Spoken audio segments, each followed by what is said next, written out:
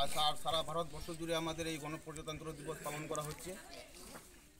আমরা ছাব্বিশে জানুয়ারি পালন করছি কেন? আমাদের দেশটা স্বাধীন হয়েছিল উনিশশো সাতচল্লিশ সাল পনেরোই আগস্ট। কিন্তু স্বাধীন হবার পরেও আমাদের দেশের গভর্নর জেনারেল ছিলেন মাউন্ট বেটেন।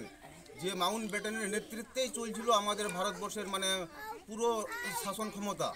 কিন্তু ডক্টর আহমদ আহমদগড়ের নেতৃত্বে আমাদের ভারতবর্ষে ভাবলো যে না, আমরা প্রকৃত স্বাধীনতা চাই, আমরা মানে সব কিছু নিজের হাতেই চাই। এই নিয়ে বিভিন্ন কমিটির মাধ্যমে উনিশশো পঞ্চাশ সাল ছাব্বিশে জানুয়ারি আজকের দিনটিতে আমরা একটা স্বাধীনতা মানে হিসাবে সংবিধান রচিত হয়, সেই সংবিধান মান্যতা দেওয়া হয় উনিশশো ছাব্বিশ, উনিশশো সাল ছাব্বিশে জানুয়ারি।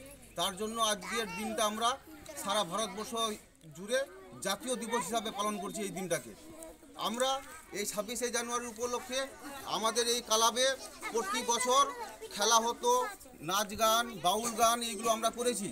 আমরা বার্তা দিতে চাইছি আজকে যে আগামীকাল আমরা খেলাধুলা করাবো এই ক্লাবে।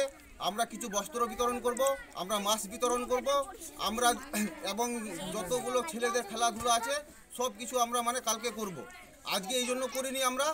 আমাদের মানে হিসাব ছিল যে